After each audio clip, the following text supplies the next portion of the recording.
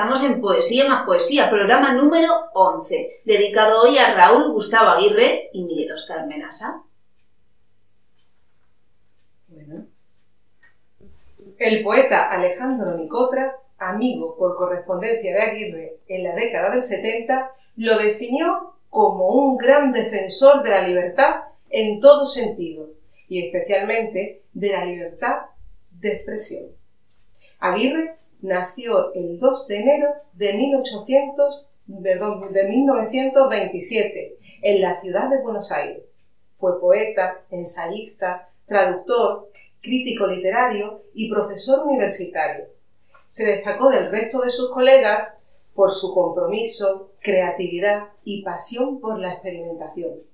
Esto lo llevó a incurrir en el género invencionista, que en aquella época representaba un nuevo modo conceptual de abordaje del hecho estético, en el que predominaban la autonomía, los valores inventivos y las cualidades descriptivas.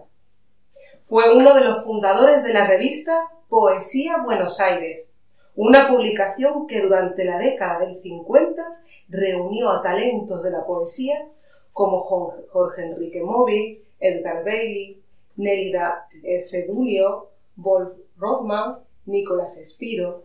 También tradujo importantes publicaciones de poetas franceses, eh, simbolistas que ayudaron a los autores más jóvenes a, profundizar los trabajos de las generaciones venideras.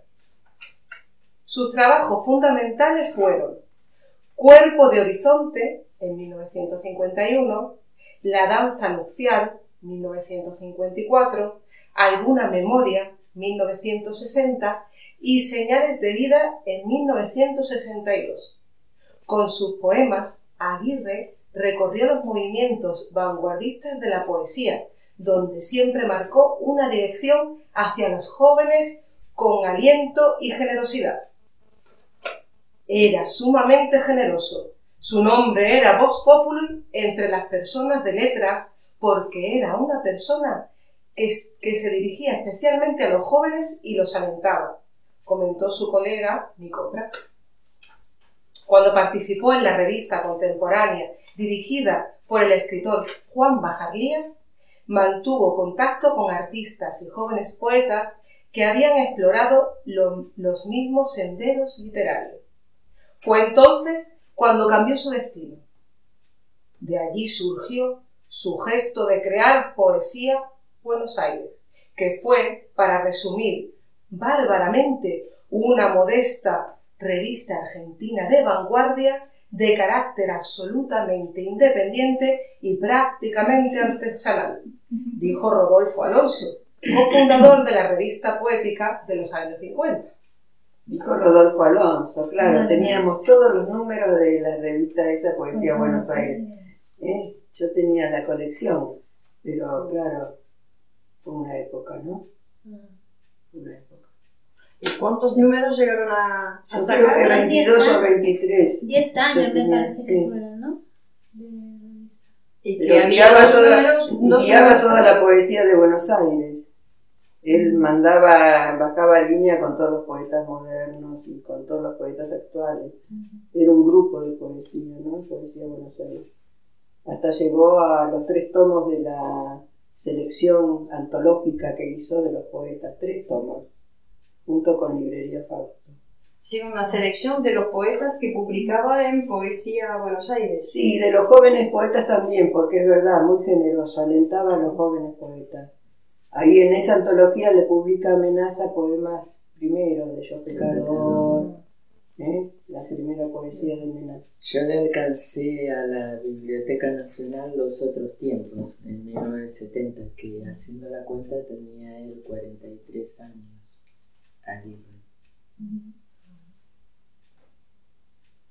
Bueno, muy bien, ¿no? Murió joven, 56 años, no saber de qué. Pero quedó Marta en relación con nosotros. Marta, su mujer, ¿eh? que venía, vino a uno o dos recitales nuestros en Buenos Aires, yo me canteaba con ella. Y ella quedó al tanto de, como heredera de la obra, ¿no? La dormir una noche es un poco heredera, ¿no? Bueno, no sé, me parecía que también estaba con... que había quedado marca, ¿no? De la obra de Aguirre. pero si no, un escritor, un poeta que no tiene una revista casi no existe. Como una cosa necesaria la revista, ¿no? Sino como difundir. ¿Eh? A lo viejo y a lo nuevo, pues te da la posibilidad de ingresar gente nueva. Esa es la generosidad, ¿no? Claro. Alguna memoria. 1. Bella que me anuncias una extraordinaria complicación, tantos crímenes olvidados reaparecen por ti. Llega el tiempo de la proeza infatigable frente a tus ojos sin sueño que ningún diamante puede cerrar. Ella se expone a las angustias del siglo, usinas de la realidad. Más explícita se quiere, menos se la conoce. El sueño de los asesinos y de los poetas es que llegue a tener un rostro. Para llegar aquí, ella debe atravesar una región de fotógrafos exacerbados por su asombrosa presencia. A pesar de su aplicación, estos espectadores solo se quedarán con las pruebas delebles de su distancia de la verdad. Es que para retenerla hubiera sido preciso transformarse en ella, ser ella y no su descripción más o menos feliz. Yo me lo repito siempre después de mis tentativas inútiles. Ella mantiene la frescura, la diligencia feliz de la vida por cuya justificación nos dejamos tentar, llenos de tristeza y de habilidad vergonzosa. Invita a los hombres, a quienes sabe posibles, no por el memorial de sus servicios, sino por la suma de su condición, a un juego de alta conciencia y de contumacia en el extremo de los enigmas. Ha conseguido así formar una tribu dispersa por el mundo cuyos miembros se ignoran mutuamente y sin embargo reparan en común los hilos rotos de una gran red de belleza. La jurisprudencia acumulada por las heridas.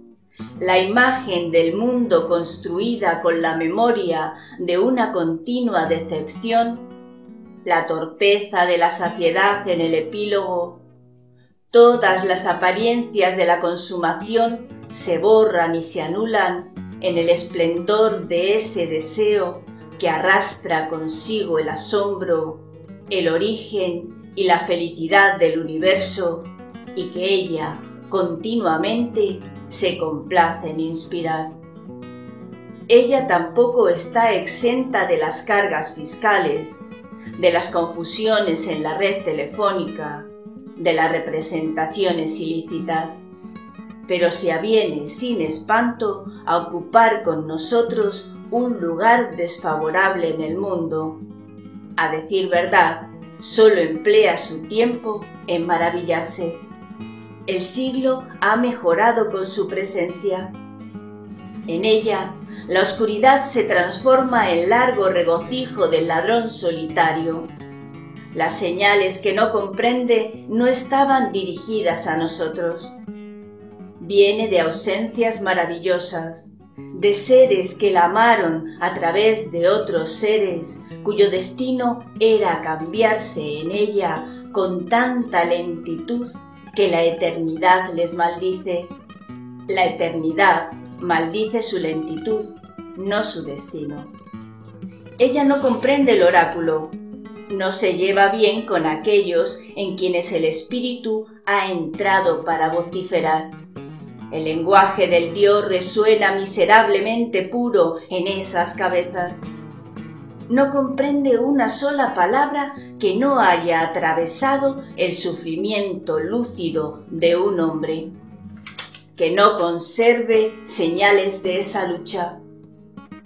Ella ignora también qué hacen los que se torturan a sí mismos para que los otros los vean cuando había que ir más lejos con los otros, más lejos todavía en el dolor esos inútiles inventores de martirio, de palidez, de revelación, a su vez la odian misteriosamente.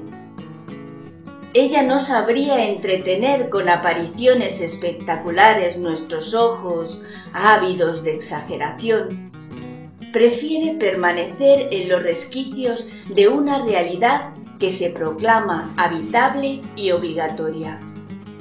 Como las larvas de la luciérnaga, la tiniebla la abruma, pero le es imprescindible.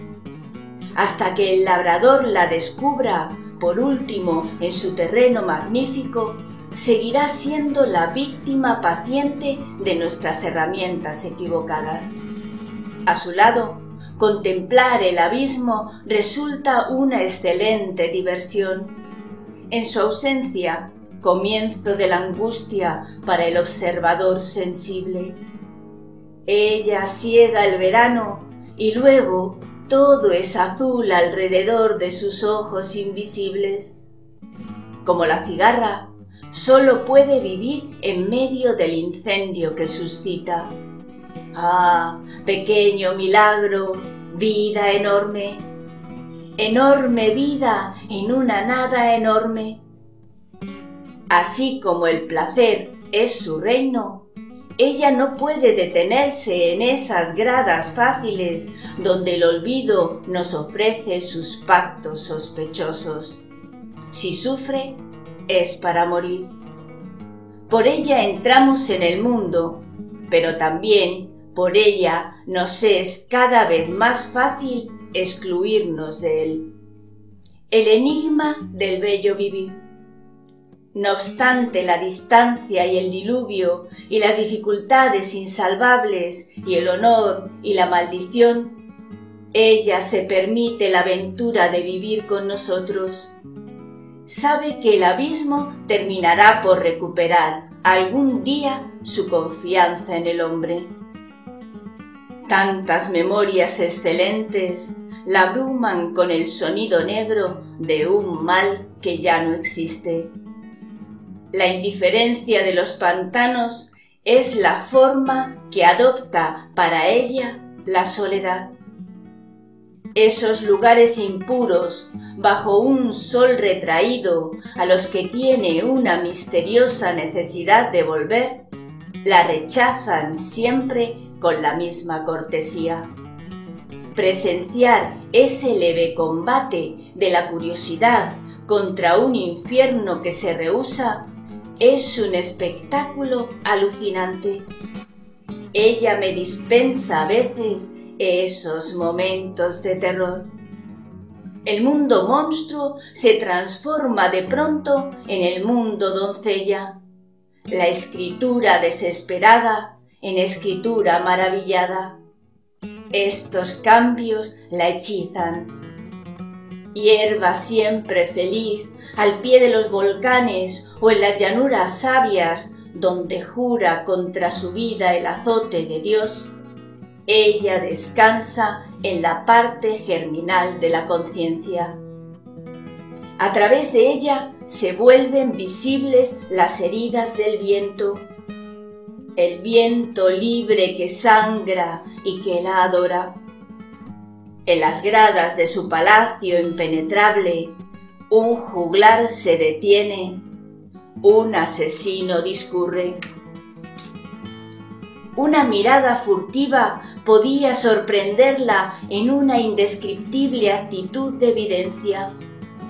Para los seres sensibles al nuevo acontecimiento, la era del escándalo comenzaba. La era de la angustia tocaba su fin. Ella desconfía de esos lugares donde el hombre aparece precedido por aclaraciones y citas que le vuelven improbable. Esos recintos de la seguridad pública frecuentados por la presión arterial. En la cueva del alquimista, ella calla, como investida de una miseria admirable que fuera al mismo tiempo su rostro y su secreto. Mantiene exquisitas relaciones con la lujuria exhumada ante ella. La lluvia de cenizas le produce placer. A través de ella los relámpagos dudan. Hay tiempo para las amistades más sorprendentes. Sus ojos son respetados por la nada, favorecidos por la prisión. Pero ella aparenta ignorar el sufrimiento que la sostiene. Su enemistad con los amos proviene de que habla de aquello que realmente le ocurre y no de aquello que, de acuerdo con lo dispuesto, le debiera ocurrir. En el patio de su silencio, único y feliz, se yergue el bello árbol de los destituidos. Los errores en las tablas del bien y del mal se cargan en su cuenta ella dibuja un rostro sobre un rostro sin fin. Vive para inventar la razón de su ausencia. En épocas de opresión, ella trabaja en la rebelión. En las épocas de la gloria del hombre, en el servicio de la libertad subterránea. Y lo que la vida quiere del poema, ella lo hace.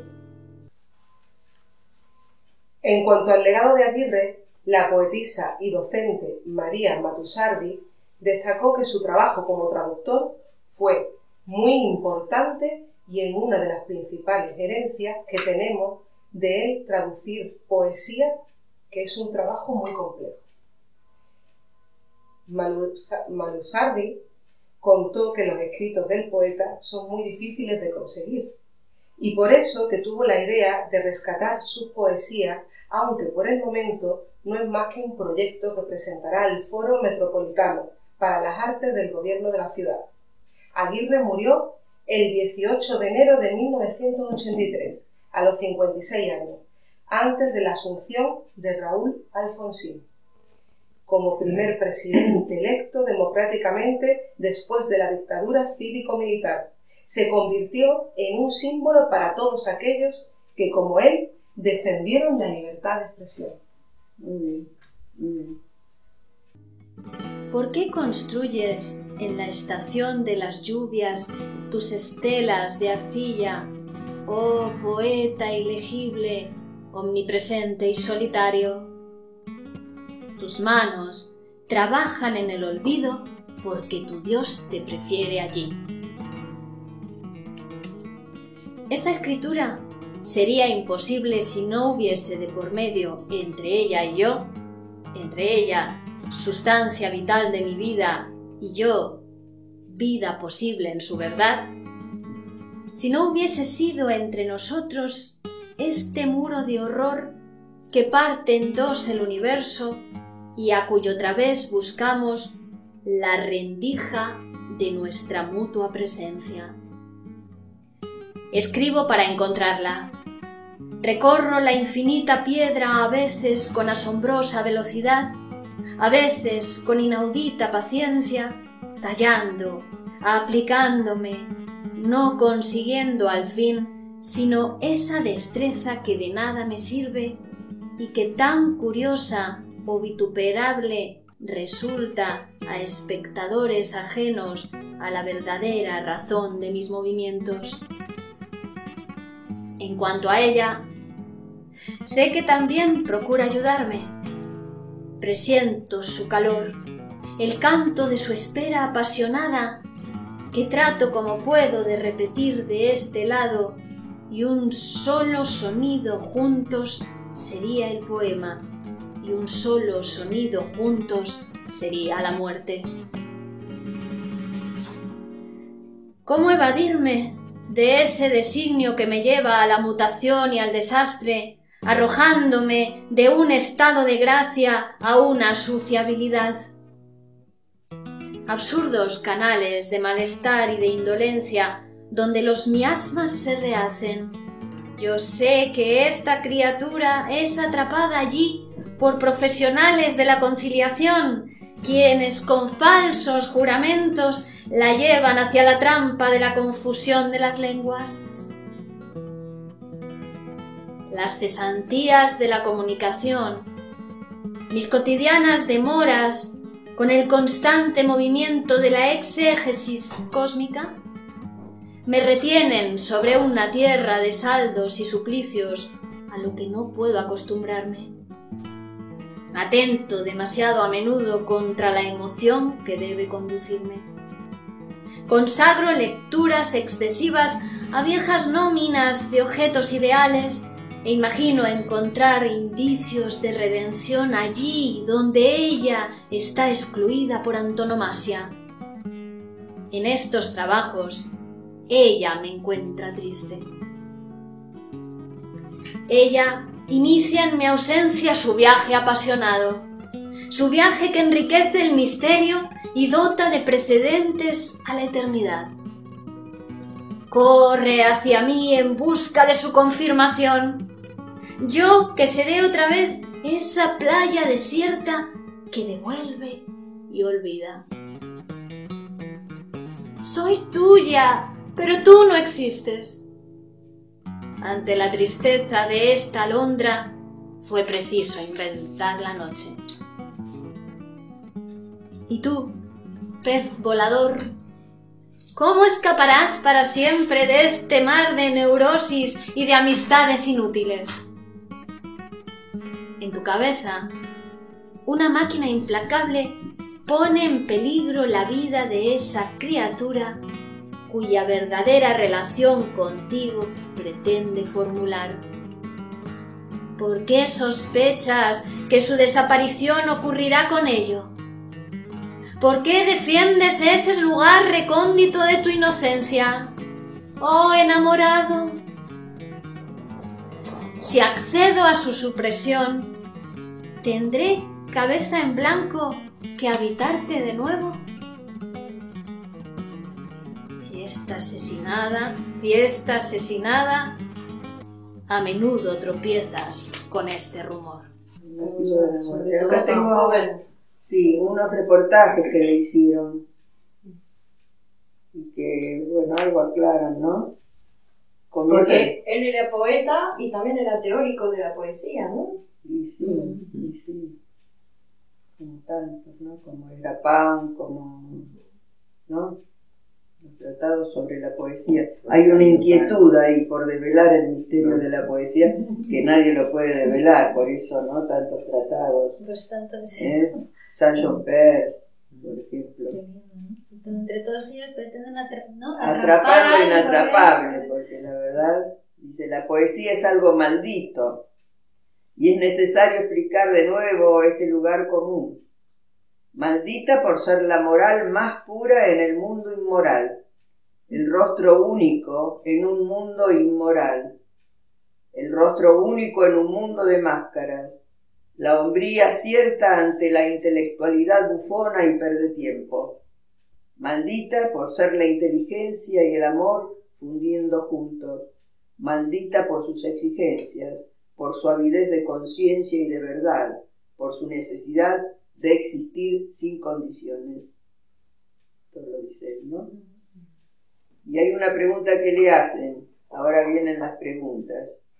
Fundamentalmente, ¿qué consiste para usted la experiencia poética? ¿Qué ha representado la poesía a lo largo de su vida?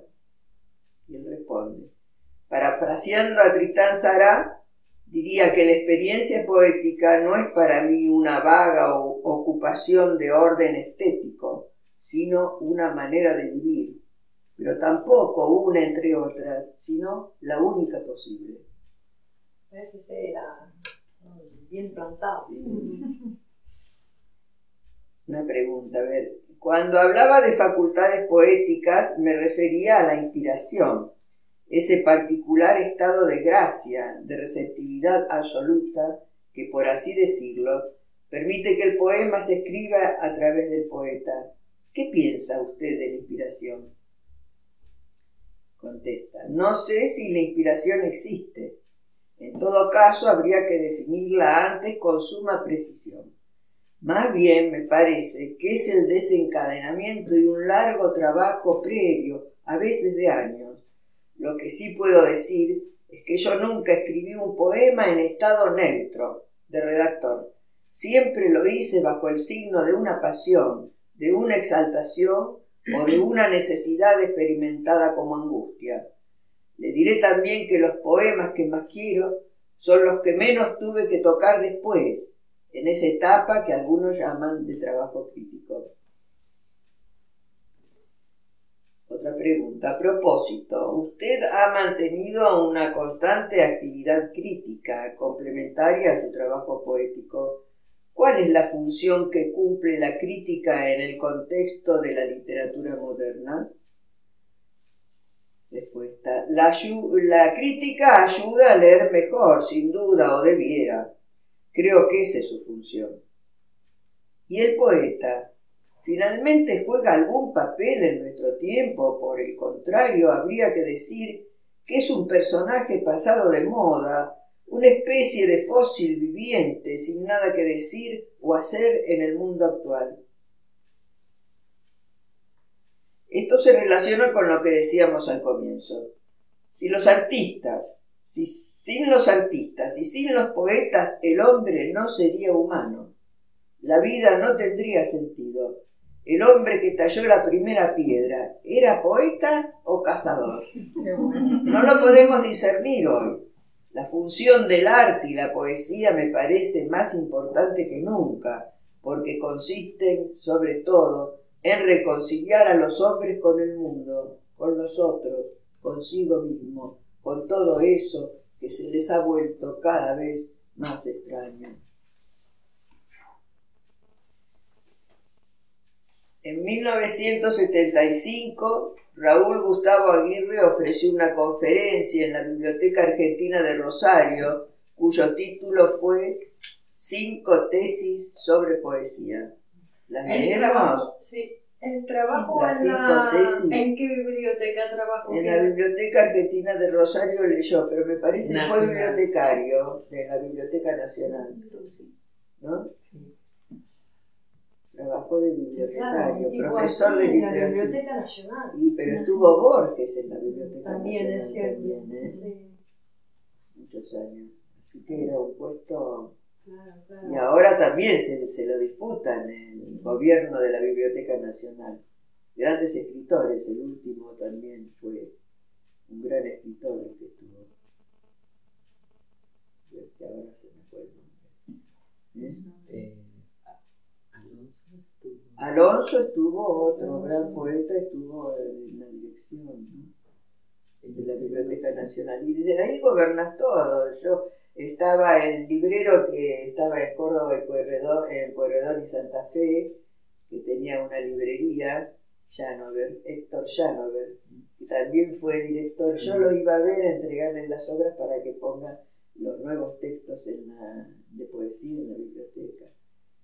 ¿No? Estuvo en manos de poetas, un, un órgano muy importante en la Biblioteca Nacional de Buenos Aires.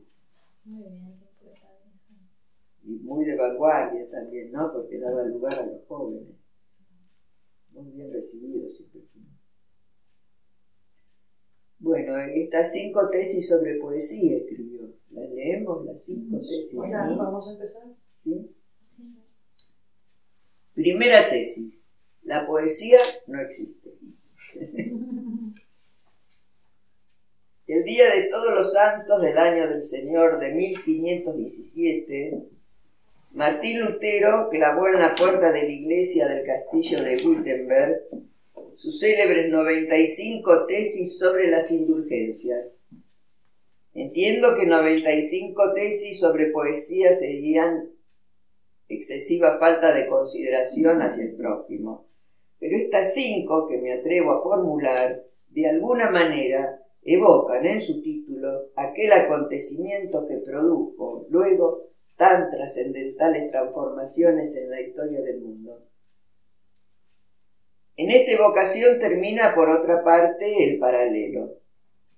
Obvio es agregar que mis tesis no pretenden producir ni de lejos semejantes consecuencias. De sobra quedará cumplido su propósito si consiguen llamar la atención hacia el examen de algunos supuestos corrientes acerca de la poesía y los poetas. Parten de la sospecha de que, si se exageran un poco las dudas sobre estos supuestos, tal vez sea posible adquirir una mayor claridad con respecto a ciertas importantes implicaciones que la poesía quizá pueda tener para nuestras existencias. Paradójicamente, como es factible observar, estoy hablando de la poesía y no obstante, mi primera tesis dice así, sencilla y rotundamente, la poesía no existe. Esto puede entenderse en varios sentidos, pero desearía evitar un juego de sutilezas e ir directamente a lo que en este momento me interesa esclarecer. La poesía no existe en cuanto a algo concreto que pueda ser definido fuera de la, de la literatura. Por ejemplo, yo puedo decir que la poesía existe como género literario, tradicionalmente opuesto a la prosa, y también tradicionalmente subdividido por la retórica en varias clases, épica, lírica, dramática. Se puede hablar de poesía y de poetas en este sentido literario o a partir de este sentido. Es decir, incluso podemos negar la poesía en cuanto a literatura y expresar, como los dadaístas, por ejemplo, que la poesía no es literatura, sino una manera de vivir. Pero para proceder así tengo que partir de la poesía como literatura y luego negarla. De lo contrario, no sería comprensible esta concepción de la poesía no como literatura, sino como una manera de vivir. Por lo tanto, digo aquí que no se trata de escribir o solo de escribir, sino más bien de algo que tiene menos que ver con la escritura que con la vida, está más cerca de la sangre que de la palabra, ¿no? Como dicen en Y el dadaísta puro, en rigor, tendría que negarse a escribir una sola palabra. Este fue, digamos de paso, el callejón sin salida en que se halló el dadaísmo, como por otra parte se halla todo nihilismo. No creo en nada, pero debo creer en lo que creo, o sea, debo creer que no creo en nada. Los dadaístas negaron la literatura sin dejar de ser literatos, sin dejar de escribir, pero nos dieron, sin embargo, una importante indicación. Nos inspiraron una fértil sospecha, señalaron hacia algo que tiene, como creo, y trataré más adelante de demostrar, muchísima importancia. Pero regresemos a... Hizo un gran estudio sobre el dadaísmo y publicó varios libros, eh, Gustavo Aguirre, que fue un movimiento, el Dada, eh, comandado por André Breton, que dio paso a toda la poesía surrealista. Tristán Sarano, que dije, o André Breton, más vino luego, bueno. Pero hizo un estudio muy grande, le interesó mucho el dadaísmo por estas cuestiones debe ser, ¿no? Pero regresemos ahora para conducir con esta primera tesis al punto de partida. La poesía no existe.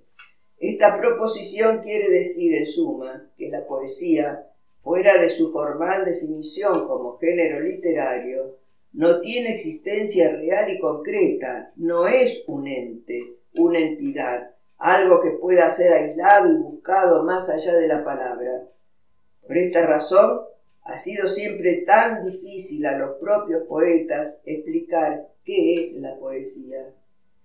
Esto nos conduce a la segunda tesis, donde digo, no existen los poetas. Si la poesía no existe, tampoco existen los poetas. Quiere decir, si la poesía existe solo como literatura en la palabra, en la literatura oral o escrita, solamente existen hacedores de poemas. Pero un poema es o bien cualquier composición que responda a las reglas de cierta retórica más o menos aceptada en un medio dado, o por el contrario, es un acontecimiento existencial realmente importante en la vida de aquel que, en cierto momento favorable, entra en relación con él. Y aquí la palabra poema tiene un amplio sentido. Puede ser, por ejemplo, una canción, una página manuscrita o impresa. En el primer caso, en el de una composición que responda a ciertas reglas o leyes retóricas prefijadas, es evidente que cualquier persona diestra en el manejo de estas reglas puede, en cuanto se lo proponga o se lo encomiende, componer un poema. Podría de esta manera presentarse en un concurso celebratorio del descubrimiento de América o del centenario de un determinado hecho histórico o donde se premie el mejor canto a las virtudes cívicas o lo que fuere. El mecanismo de este proceso es muy simple. Un tema que servirá de contenido a la composición y una forma, lo más bella posible dentro de los enunciados, de una retórica, a lo sumo de una estética. Y ya tenemos el alfajor eh, fabricado, perdón, compuesto. Sin duda, su autor es un poeta, así como el señor que nos hace fotografías urgentes, tamaño 4x4, es un fotógrafo. Y en este sentido, mi tesis, repito, es, no existen los poetas, pero ya me estoy aventurando demasiado en mis negaciones y para no pecar de ser en exceso pesimista, voy a necesitar de alguna afirmación, que la haré en mi tercera tesis. Existen los poemas. Existen los poemas, sin duda, sin duda, sin duda. Esta afirmación, está claro, no tiene contenido polémico. Muy bien, porque no se trata de ser polémico, porque sí, y a trochimoche. No obstante, quiero aclarar que no me refiero aquí al poema tal como lo describí hace un momento, como una especie de artefacto fabricado conscientemente y es profeso según ciertas reglas destinadas a producir determinada emoción. Debo confesar que aunque parezca fácil afirmar que tal manera de hacer un poema es falsa, literalmente artificiosa, una especie de engaño, en suma, hay grandes creadores de poemas que han afirmado lo contrario. Entre ellos, Vladimiro Mayakovsky, que, como es sabido, no diferencia un poema de cualquier otro producto industrial. O César Vallejo, quien nos dice justamente que un poema es un artefacto destinado a producir emoción. César Vallejo. Y también el galés Dylan Thomas, que no solo habla de oficio en uno de sus poemas, el oficio del poeta, también tema tocado por Pavese, ¿no? En el oficio, el oficio del poeta. Bueno.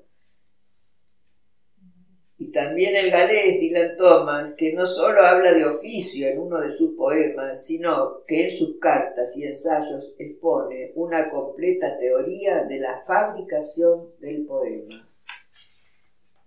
Entonces, antes de continuar, quisiera intentar una explicación a esta aparente disidencia de estos grandes creadores. Hay sin duda en todo trabajo de creación una parte de habilidad adquirida y de esfuerzo consciente. Pero esta habilidad y este esfuerzo, cuando se produce un auténtico acto de creación, están al servicio de la concreción, en palabras, de algo que los trasciende. Por diversas razones se confunde este trabajo con la verdadera creación o se lo valoriza más que ella. Es el caso de Mayakovsky, porque me parece quería justificarse del frecuente complejo que asalta al escritor ante los que hace, pareciera, que un hombrero metalúrgico, de cuyas manos sale una gigantesca rueda de locomotora, estuviese creando una realidad de más peso, en todo sentido, que el hombre que se limita a hablar, a escribir.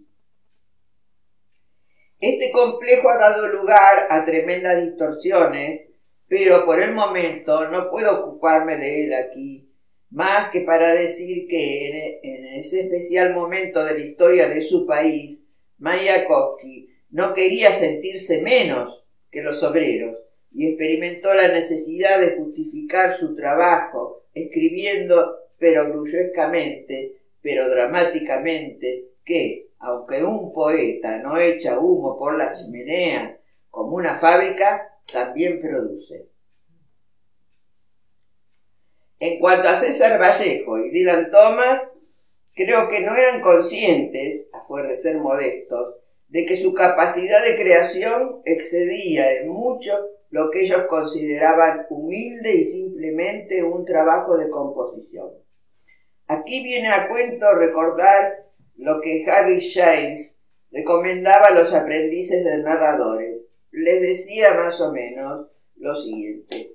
No se preocupe por la forma de lo que va a relatar ni por los procedimientos narrativos.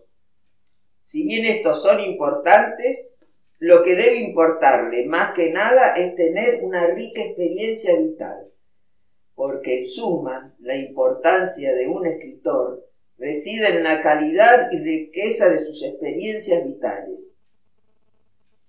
Yo creo que el gran novelista de La bestia en la jungla tenía mucha razón.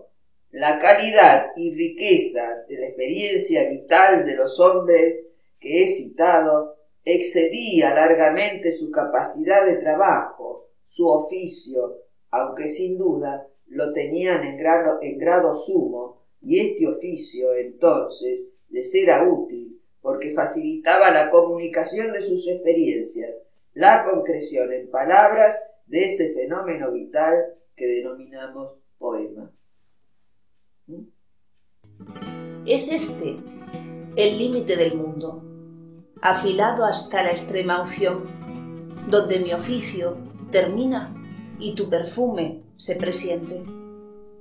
Nos deteníamos para disputarnos esas extrañas piedras con que tropezábamos a cada momento. Cada vez eran menos numerosas a medida que nos acercábamos a ti. Presencia jamás compensada, insólita, ¿cómo es que duras ante mis ojos? ¿Cómo es que vives en mi país. Te fuerzas por mantener la unidad de tu cuerpo, por estar aquí, pero tus amistades son enojosas para la eternidad que te reclama. Y por esa restricción a la niñez celestial que cuestiona tu sexo, vives intensamente bajo el peligro constante de ascensión y de metamorfosis. Ojos maravillosos que a veces te recuerdan que a veces te olvidan. En el destello de nuestra separación, azul velocísimo, yo te saludo, mi alma, mi extranjera. Alba, donde pululan los monstruos, alba, siempre dispuesta a transformarte en poema, alba invisible siempre, perdida entre tinieblas y los hierros del mundo. ¿Sabes que donde la belleza culmina, ella y la angustia se confunden. El rayo negro nos desnuda sobre una realidad que vacila entre el éxtasis y el espanto. La vida recuperada y la inexplicable ausencia, mientras tú me abrazas desesperadamente, sabiéndome víctima, una vez más, de la disonancia metafísica. Nada te defiende de la noche perfecta. Bien sé que te asfixias en la felicidad dispuesta por los propietarios de tu presencia en el mundo. Bien sé que sufres a menudo grandes dolores extranjeros, prohibidos por la ley. Exiliados los dos, juntos bajo un cielo magnífico, creemos por un instante, oh poema, haber hallado tu país. Te invento para hablarte, me inventas para verte tantos enigmas consienten a tu presencia. Desconfía de esta especie de sueño que anula las dificultades de la vigilia en beneficio de un país hipotético, en cuyas aduanas la parte más fértil del hombre queda a merced de la exacción. Pero esa tiniebla ávida de nuestras fuerzas no debe ser confundida con aquella otra, donde se origina el signo que renueva el alba y hace compadecer a los monstruos. Pasa la breve luciérnaga, inclusa en la ley de su reino. Pasa y se ilumina. Presencia que parecieras desmentirme cuando la tristeza del mundo ya iba a negarte, que culminas y desapareces entre mis brazos de relámpago. El amor y el viento. Lo demás pasará. A cada movimiento, una nueva piedra aumenta su muralla del equívoco que te circunda. Es preciso derribar algo de tiempo en tiempo, a pesar de las objeciones de los cronistas del rey. Vivo en la hierba de tu desprendimiento. Soy el cazador furtivo a quien la noche ha transformado en centinela exhausto. Contigüidad insaciable, fidelidad lejana, amante. Los monstruos que te amaban resplandecían antes de morir. Miserables, miserables del mundo de quienes está hecho el rayo de tu presencia. Eres parecida a ese fuego que un caminante solitario enciende en el umbral de la noche y donde se reúne, para no morir, toda la claridad de la tierra. Ebrio estoy de ese universo que compromete su destino por acordarse con tu mirada, por ser tu cómplice. Alma de todo lo que me subleva, tú eres mi fuego constante y mi primera ceniza. Hay en mi vida una especie de nada que solo existe por ella. Hay en mi vida un pozo de vida. Tú no lo ignoras, tú me abrazas. Me abrazas para que no olvide el tiempo en que nada sabía de ti. ¿Qué harás en este desierto donde hasta las piedras se fuman, sino quedarte y compartirlo? Tú, criatura que no eres de aquí, pero que nos quieres aquí, pobres, inmensos, dementes, obstinados. ¿Cómo es difícil para ti retener en el viento esa pasión del viento que te crea? Pero la noche donde reinas y desapareces, jamás será vencida, oh, amenazada. ¿Seremos también nosotros al morir los contrarios de la poesía? ¿Por qué? Si jamás les has interrumpido, si ellos son más fuertes que tú, más numerosos y más firmes, todo un ejército de profesionales te odia. Cuando apareces entre ellos, por un error, por un descuido, los directores se turban. Los mitomaníacos exhalan largas memorias. Los parásitos de las escrituras evidencian síntomas de sofocación. ¿Por qué? No soy yo que me inclino por ellos, que me confundo con ellos para verte. Nuestros gestos son ambiguos y te odiamos, te odiamos porque tú nos anulas los discursos nos echas a perder nuestras más hábiles combinaciones y tus ojos nos revelan que todavía, a pesar de nuestro poder y de nuestra destreza y de nuestros antepasados, no hemos comenzado a existir para ti. Fenómeno vital, le llama. ¿eh? Aunque esto este, parecía como desde uno de Mayakovsky para meterse en el proceso de la revolución, porque ¿no? La clase obrera y la industria y qué sé yo, ¿no?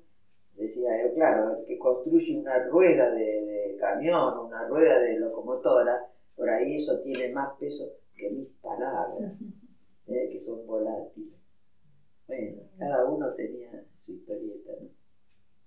En suma, concluye. Existe... Porque hay esa contradicción, ¿no? Es decir, que si pensamos que es la poesía la que, como dice eh, Raúl, ¿no? que es la que produce vida, que produce humano, y sin embargo es la menos reconocida, es la ¿no? que no se gana dinero con la poesía.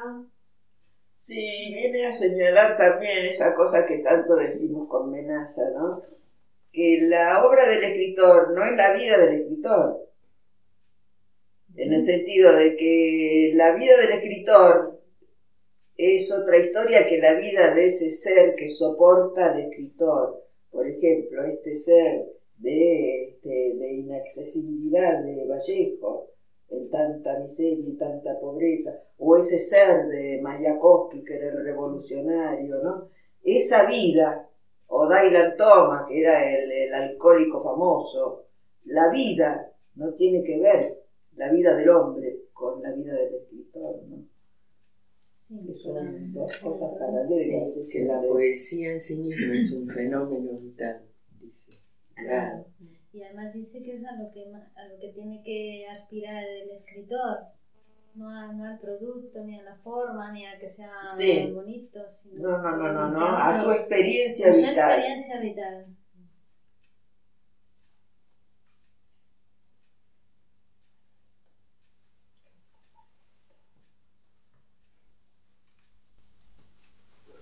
Bueno, termina la tesis esta diciendo en suma. Espera, espera, espera.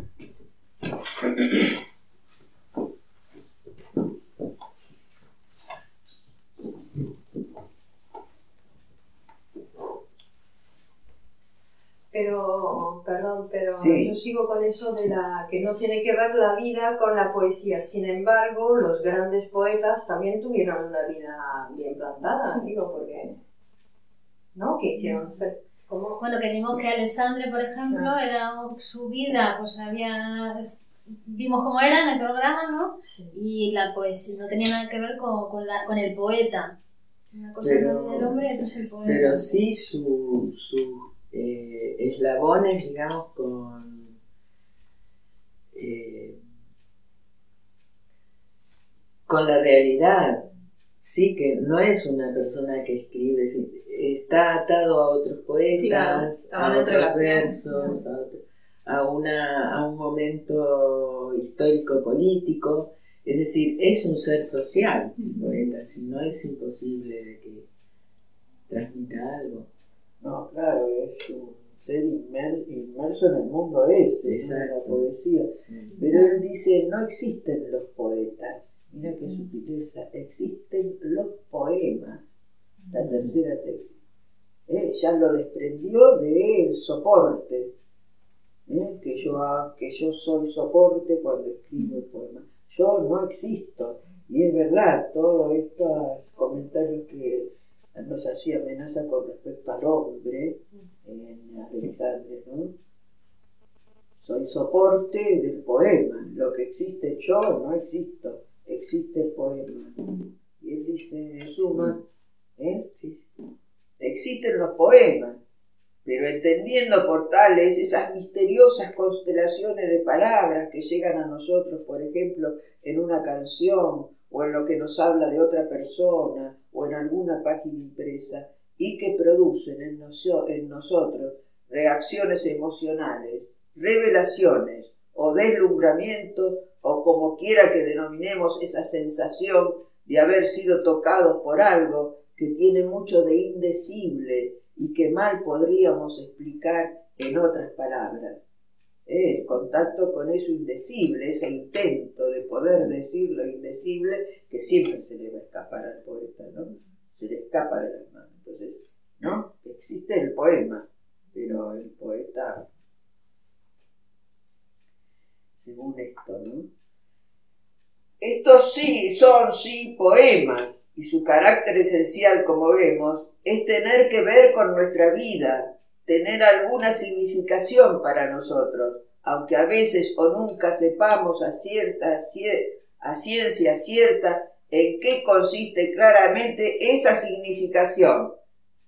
¿Eh? Ya se metió el moderno, ¿eh? también ya se metió en el significante, ¿eh? no en la significación, es decir, lo que quiere decir para mí sino en ese significante que se, el que se escapa, que no es para mí, sino que es para la otra palabra, el otro significante y el otro significante, un desprendimiento ahí. habla siempre de la concreción en la palabra, ¿no? De la concreción en, ahí sí, y sí. Eh, sí, es con, palabras, pero para tomar lo inacible. Eso genera otro poema. ¿no? Y otro poema, y otro poema.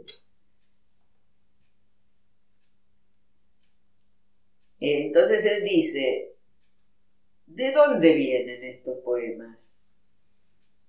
Y aquí entramos en la cuarta y penúltima tesis.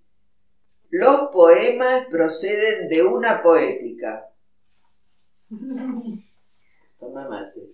Un otro, una. Esta será la más abstracta, filosófica y por lo tanto la más discutible de mis tesis. Ruego por ello se la tome como un ensayo de aproximación a un problema sumamente complicado. Si el creador de un poema no es un poeta en el sentido tradicional de una especie de siempre disponible hacedor de poemas, como eran, por ejemplo, los poetas de corte que celebraban los triunfos de los emperadores en la antigüedad, si el creador de un poema no es un poeta, por lo tanto, sino un ser a quien a veces, y hasta puede ser una sola vez en su vida, a quien a veces le ocurre crear un poema, ¿de dónde viene entonces ese poema? ¿No? viene de una estética o una retórica predeterminada que nos han de decir cuáles son las condiciones que debe reunir para hacer un poema. Viene de un campo mucho más vasto y misterioso, como lo es el de la experiencia humana en su totalidad, tanto la experiencia propia como la del contorno inmediato e inmediato, presente y no presente, consciente e inconsciente, voluntaria o involuntaria, en la soledad y en relación, etcétera, etcétera. Viene del universo de la vida y del hombre, y para mejor, viene implícito en el más misterioso y tal vez más poderoso de sus poderes, el lenguaje, la palabra. Esa palabra que surge, que concreta, que concreta, que expresa y que transmite, pero sobre todo palabra que ocurre, que nos ocurre, que nos coloca en determinada situación. Desde que se comprendió bien a Wittgenstein, se hizo claro que hay un lenguaje no fatídico, un lenguaje que aun careciendo de sentido lógico, inteligible, unívoco, es sin embargo significativo o significante, como dicen hoy los estructuralistas. Pero aparte, esto me parece muy importante la afirmación de Lacan cuando dice que, más que significar, un poema implica al lector en una situación ya Wittgenstein, Wittgenstein había destacado este carácter ritual del lenguaje, la importancia de los contextos de situación. Es clásico el ejemplo, yo te bautizo en nombre del Padre, del Hijo, etcétera, etcétera. Es una fórmula que para Wittgenstein Wittgenstein, que es un filósofo muy leído, además que yo lo leí, pero no lo puedo pronunciar. es una fórmula que para Wittgenstein solo tiene pleno sentido o significado en una determinada situación. Ahí colocó al significante de situación. Pero a lo que queremos llegar a e, es a esto. Todas estas reflexiones nos llevan a la conclusión siguiente. Un poema es un hecho en la existencia de una persona. Es decir, antes que la noción idealista e inexistente de un producto literario que una mirada pura y distante puede consumir sin ser por ella alterada, un poema es algo que ocurre en nuestras vidas tanto si lo creamos nosotros en el momento de concretarlo en palabras, como si lo creamos también como si lo creamos también nosotros al recibirlo de, en una constelación de palabras a las que damos o de la que surge un sentido o significado que fulgura, que nos toca. Insisto, porque esto me parece muy importante. Un poema es algo que nos ocurre, es un hecho, un acontecimiento en nuestras vidas, en el que participamos y en el que ellos participan, y por lo tanto es capaz de alterarla. Y bien, sabemos hasta qué punto un poema puede ser una revelación que de alguna manera influirá en el curso de nuestra existencia. En suma, un poema pertenece al mundo de los hechos, es algo fáctico, y si tiene que ver con el curso de nuestras vidas, entonces entra en el campo del hacer, en el campo de algo que en filosofía se denomina ética. Tu canto continúa hasta que el universo se rompe en un hiato espantoso, comienzo de la nada. Allí la memoria me ofrece sus servicios. Ocurre que la necesidad de decidir llega a alcanzar niveles alarmantes. La disgregación, el poema, la fatiga, la duda y los insistentes memoriales sobre táctica física de conservación de la conciencia inhiben a menudo el itinerario del cazador feliz. ¿Dónde estoy ahora? El pataleo de la ciudad entera, la náusea de la organización, la imposibilidad de personalizar en el prójimo la culpa de esta vergonzosa contrariedad que nos anula dotándonos de mortíferas similitudes, de equivalencias que vuelven indiferente al rayo. Esta endemia en fin, desde donde, desde me es preciso atraer a la maravillosa criatura con un interminable despliegue de trabajosas señales, a veces falsas, a veces excesivas, a veces miserables. Esta endemia es, oh cielos, mi país. ¿Y ella qué hace aquí? viene a iniciar la sucesión de acontecimientos admirables. Pero la sucesión de acontecimientos admirables no es resistida por los sismógrafos. En las retinas indiferentes, la claridad se enfría. El iris de la claridad desaparece, víctima de un fenómeno de distorsión las manos que escriben en papeles ajenos se desentienden de su presencia.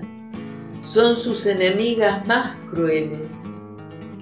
En la mesa que ella amaba, a la hora de la identidad, reina ahora una absurda caligrafía. Su ausencia infunde una temible atracción a los archipiélagos deshabitados. En el afelio, las probabilidades de muerte son extremas. La soledad se individualiza. El dolor entra en juegos arácnidos, se vuelve miserable. Es en ese infierno donde cada árbol se distingue por su nombre donde se encuentran los más completos archivos, donde es posible seguir con atención los movimientos de la única criatura que no obedece la orden. Esa filaria que se divide cuando parecía que sólo de ella se podía hablar, de ella y de mí. Oh, vergüenza de los oficios sagrados. ¿Cómo podré, amor mío, volver a la noción de tu cintura, a la simplicidad de tu, de tu lumbre? ¿Cómo podré, amor mío, volver a la noción de tu cintura, a la simplicidad de tu nombre, a tu belleza? La claridad disminuye, tu cuerpo se borra. La claridad, víctima de mi dimisión, se hunde con el tesoro de tus movimientos. ¿Cómo resarcirte de mi retorno a la condición enumerativa, al círculo de la ingratitud, al estado general. Nosotros dos habíamos hecho de la imprudencia nuestro medio de comunicación. Una incomparable vicisitud nos unía. Fuego y nieve se complacían en exasperarnos. Caíamos juntos en el abismo de nuestra semejanza. Cuando el fuego cesó, la nieve se deshizo y yo no pude retenerte, no había salido de aquí. De otros depende ahora la autorización, pero tú, sin nombre, en el frío de esos espacios, ¿qué esperas sino mi muerte? ¿Qué esperas todavía, oh solitaria? Veo otra vez tu rostro en el centro de una prodigiosa tormenta, tu rostro desconocida en medio de la ausencia que te devora, más cerca que nunca del mío. El persistente abismo te separa de aquellos que eran, al alcance de tu mirada, el presagio de una infinita celebración. Pero quién sabe qué guardan todavía de inmenso estas apariencias de la fatalidad. Pequeña gloria errante entre las ramas de la noche, ¿qué nueva forma buscas para que yo te vea? ¿Cómo retenerte a ti tan difícil de atar, tan rápida y cambiante, tan difícil de sujetar a nuestra armonía, a nuestros rectos usos, a nuestras sanas costumbres. Yo, como tantos, ignoraba que aquí, donde cada uno se esconde bajo tierra, no había otro destino para nadie sino aquel por el que tú, lejos de nosotros, te dejabas llevar. Increíble criatura, he sido fiel a tus contradicciones hasta la punta de la aguja que penetraba en el corazón del pájaro triste para matar a la serpiente. Déjame cavar en mí la maldición y que nos hundamos en este tema. Tú no deseabas otro destino para mí y yo no quería sino tenerte por entero. Los hombres nada se han llevado, nada de lo que puede todavía inflamarte. Yo me salía del mundo y tú de nuevo me creabas. Tal era nuestro juego nuestra danza nupcial. Ausentes pasábamos juntos por aquí. Yo conocía tu rumor en mi alma y en mi alma eras libre de hacer cuanto quisieras. Yo conocí el rumor de tu presencia y te llevaba en mi alma como el mar, como el viento hubieran querido llevarte. Yo cambiaba tu cuerpo por el mío, yo era la eternidad. Al azar te encontraba una y otra vez y el mundo era demasiado grande como para retenerte o, o como para que nuestros destinos se contradijeran. Y tú tan parecida al aire de pronto, eras tan libre como yo y nos cambiábamos sin saberlo, sin nombrarnos, sin descubrirnos la razón de nuestra indolencia. Pero esta sombra no durará, no durará. ¿Qué podría mostrarte? allí donde ya no quería seguirme escaleras abajo, fuera del reino de tu validez.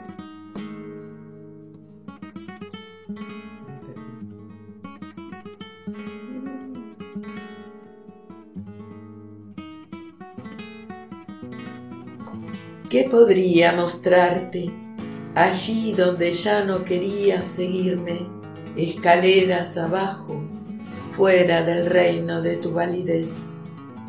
No había más que cenizas en el fondo de esas arcas enormes.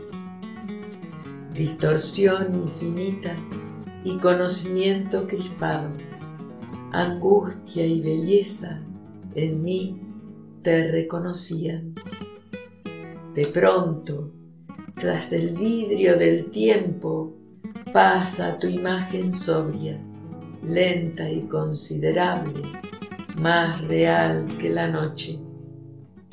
Ya no reconozco como causa de mi angustia sino la necesidad de volver a crearte, de hacerme de ti ausente la confusión en mis escrituras, el fénix en mi cabeza.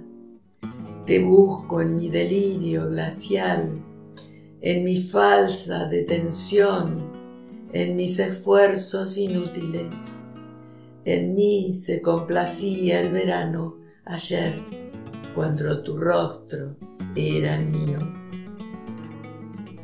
Trato de hablar de nuevo ese viejo lenguaje de poesía con el cual solíamos explicarnos nuestro amor. Libre por tu presencia oculta detrás de los signos de tu presencia. Libre por tu amor jamás abarcado. Para vivir, yo tengo que romper esta niebla verbal que me oculta tu nombre. Busco la libertad de tu rostro de hoy.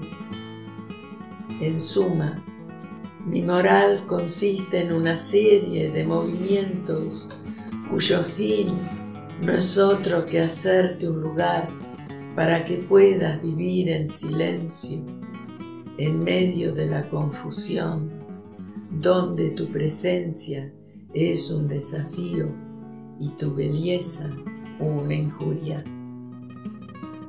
Y tú, más cierta que el mañana que no puedo mirar, más cierta que la oscuridad por donde vamos, haz que pueda iluminar levemente el rostro de la tierra, comenzando por ti, que estás al lado mío, que estabas al lado mío desde que comenzó todo esto.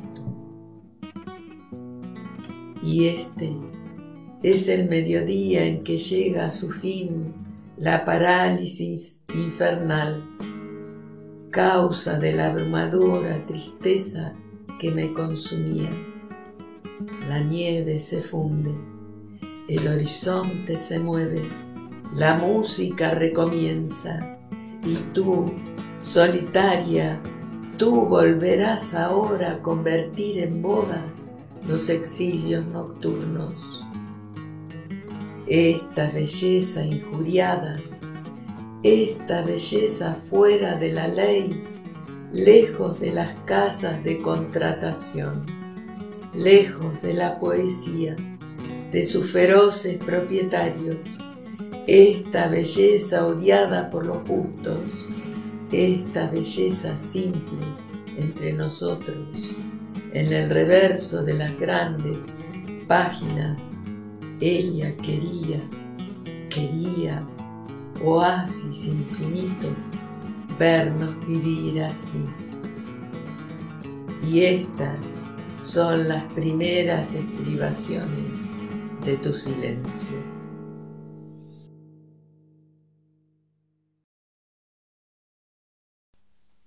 Y aquí llegamos a la última tesis, quinta tesis. La poética es una ética. Tiene que ver con el acto, es en el acto. No es una estética de la forma. de la forma, ¿no? Es una ética, es el acto. A ver qué dice. Entonces, dice, no existen ni la poesía, primera tesis, ni los poetas, segunda tesis, porque tal vez ahora podemos comprenderlo mejor.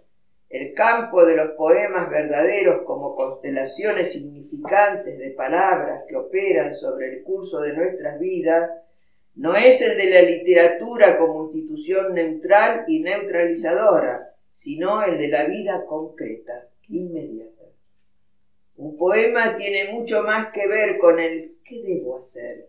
kantiano que con el placer estético, concebido como actividad pura, sin compromiso con la existencia ni con el tiempo histórico real y concreto.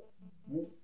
Un poema es un acto, como querían los dadaístas, pero no un acto contra la literatura, es decir, un acto sin palabras, una imposible negación de la palabra, sino un acto que justamente consiste en palabras. Yo quisiera concluir aquí esta tesis, que son en todo caso provisional materia de reflexión y dejar librado a cada uno el meditar sobre las sugestiones que de ellas pueden desprenderse. Pero hay algo, sin embargo, que me parece necesario destacar para dar término a estas aproximaciones, y es que si todo poema verdadero es un hecho ¿eh? Que influye sobre nuestra vida, y no sobre la vida como una vana generalidad, sino sobre la vida real de cada uno, si todo poema lleva implícito un hacer, si es, como escribe maravillosamente René Char, el amor realizado por el deseo que ha seguido siendo deseo, ¿eh? el amor, dice René el amor realizado por el deseo que es, ha, seguido siendo deseo, eh, como realizado, ¿no? Entonces, un deseo como realizado, porque sigue siendo deseo. lo que se realiza es el amor, ¿no? Sí, el amor realizado deseo por el deseo que ha seguido siendo deseo si corresponde por lo tanto a una ética, pero a una ética cuyas reglas se hallan en continua formación y que por ende no puede ser formulada ni impuesta de antemano, si todo poema es entonces el más cabal y dialéctico ajuste del ser humano con su situación histórica, y ello explica de paso la necesidad constante de, de nuevos poemas, pero a la vez este ajuste no se puede producir en el esquema falso y perimido de un contenido y una forma, de un tema y una expresión. Entonces, el poema que toma como motivo un hecho para explayarse sobre él, el poema que pretende enseñar algo, celebrar algo, censurar algo, está condenado por principio a la inteligibilidad unívoca del discurso eh, fáctico, es decir, a la prosa. Expresado de otro modo, no se puede describir un hecho en un poema porque el poema es en sí un hecho. En un verdadero poema, el hecho es, para parafrasear a Yu, la sombra del poema.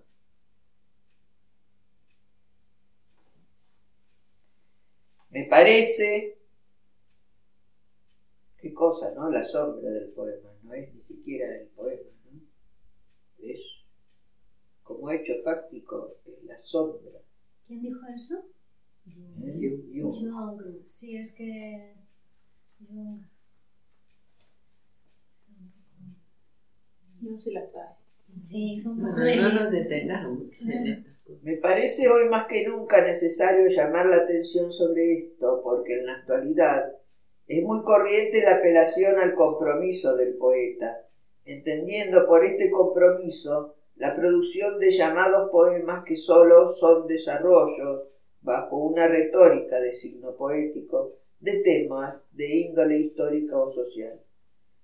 Esto no quiere decir ni mucho menos que el poema se desentienda de lo que llamamos la realidad, si me he expresado bien, Se podrá comprender entonces que el poema es, ante todo, la realidad por excelencia que viene a suscitar en lo más profundo y auténtico de nosotros un imperativo movimiento vital.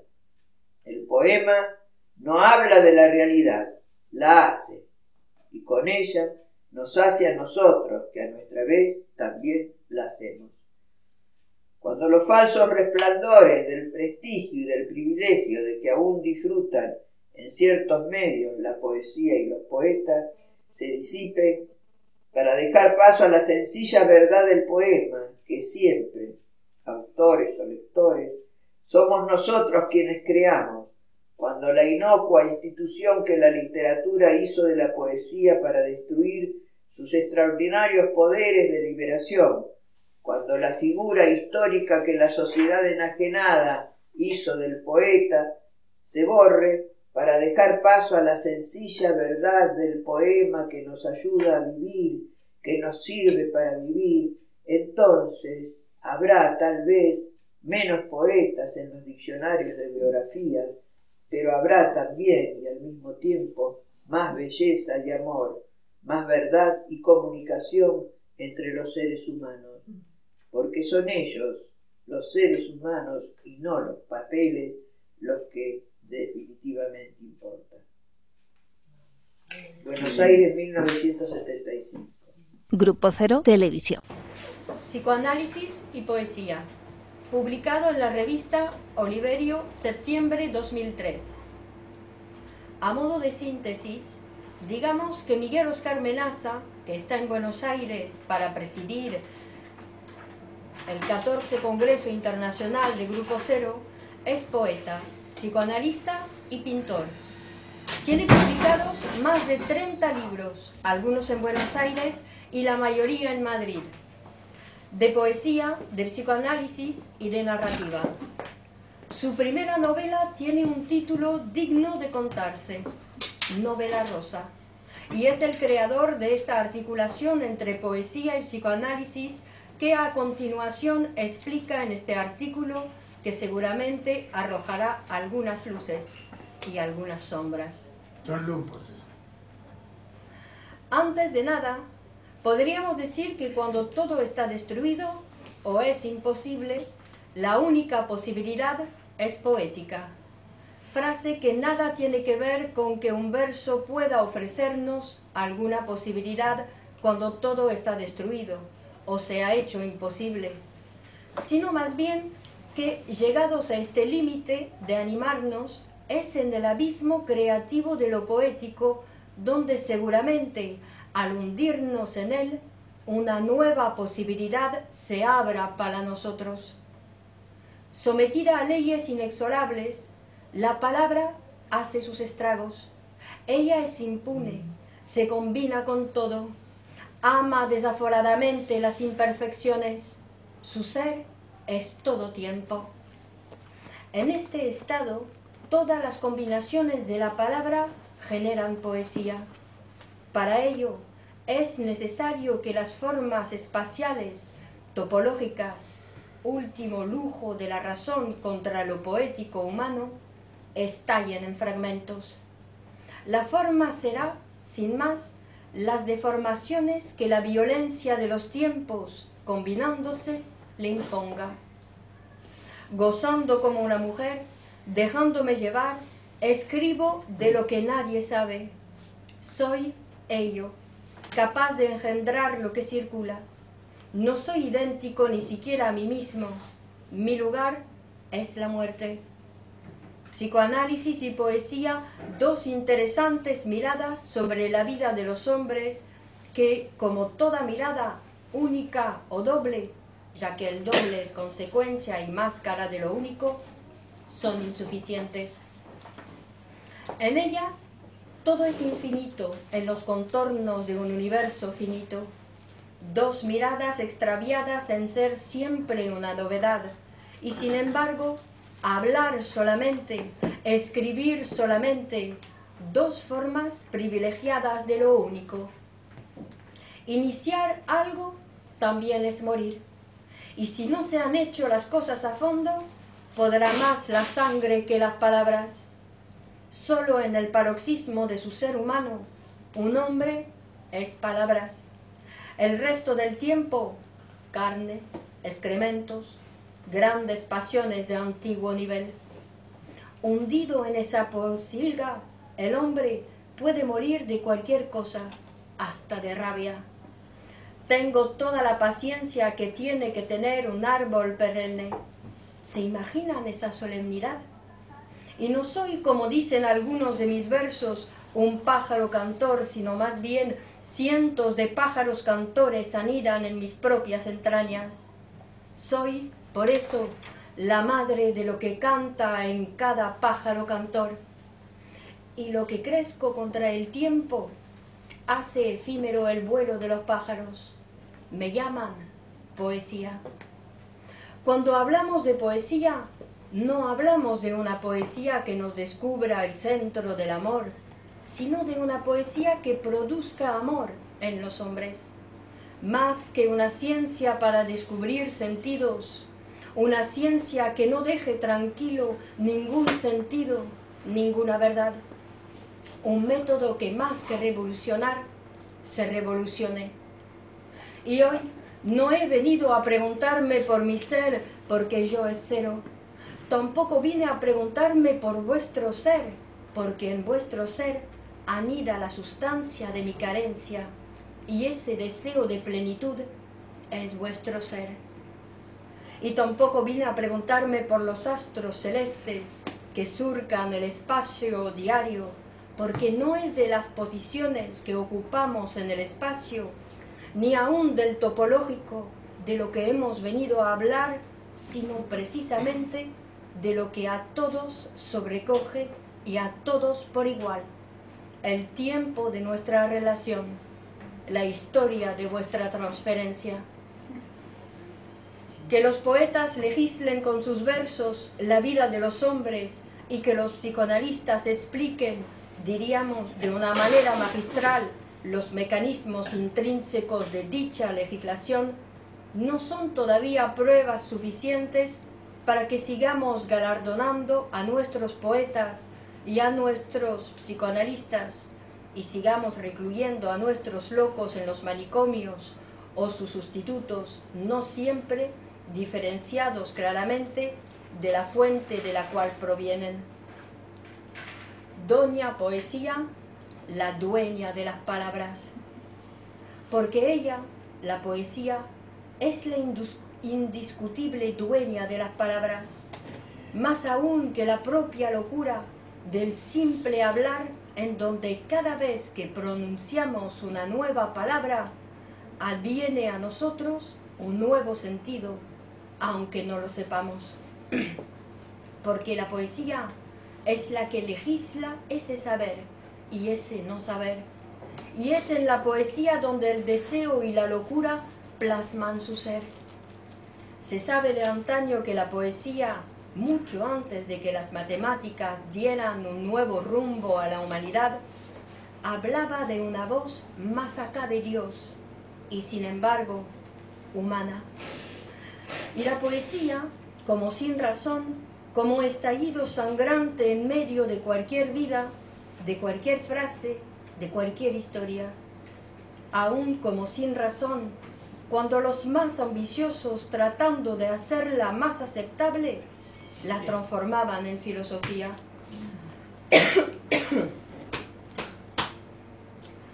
Quiero decir que mucho antes de que la locura hablara por sí misma, la poesía habló por ello, por ella.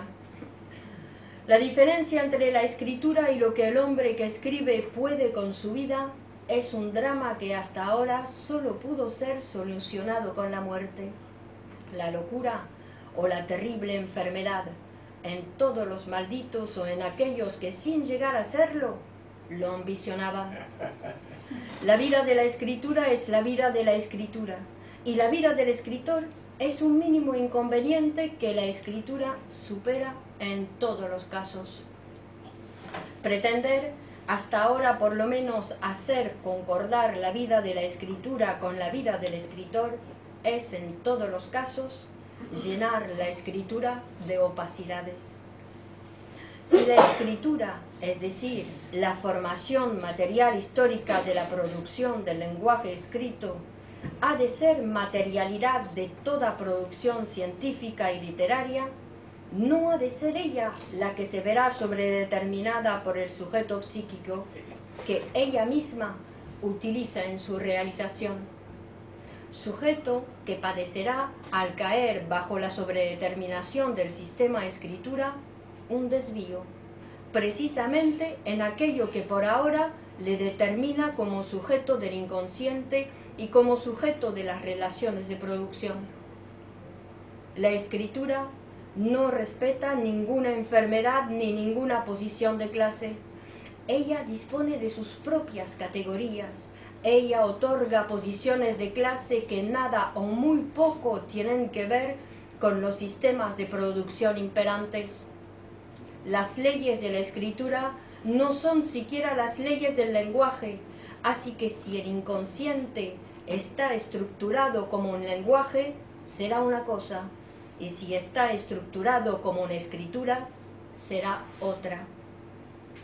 Escribir de aquello que nos enseguece para usarnos en su desarrollo es fuerte. Algo así como intentar detener mi propia circulación sanguínea para estudiarla. Ella no se lo permitirá a nadie. Detener su curso para que alguien pueda poseerla, para que alguien pueda decir algo de ella antes de que ella misma produzca sus sentidos, ni me lo puedo imaginar. Y sin embargo, sé que sin imaginación será imposible. Insistiré, se ve que todavía me dan miedo nuevas combinaciones. Edipo todavía me domina, todavía estoy esclavizado a dos ilusiones, tener el valor, tener el falo. Todavía deseo solo ausencias, soy un amante de la inmortalidad, temo la infinitud, prefiero que el mundo siga siendo un poco de dinero y la fotografía de mis familiares muertos. Pretendemos una página en blanco permanente, ese ha de ser nuestro lecho de amor y también nuestro campo de guerra. Hemos aprendido que la bestia de la poesía no puede ser saciada por ningún dinero, aunque su confort sea el más alto, ni por ningún sexo, aunque su promesa sea la más bella. Por eso decimos que la bestia no habrá de morir. La poesía nos acompañará hasta el final y nada de versitos, porque la poesía es una manera fuerte de vivir en el mundo, una manera valiente de los terráqueos de mostrar lo que habrá sucedido. Queda claro que si estará al final, tendrá que estar en el principio, y eso es el orden que poesía y psicoanálisis propone. El orden poético, la jerarquía de una lectura poética que no pueda ser comprendida sino por aquellos a quienes va dirigida. Una lectura cuyo procesamiento produzca una escritura nueva que señale de un modo definitivo que en el siglo XX algo ha pasado poesía y psicoanálisis. Muy bien.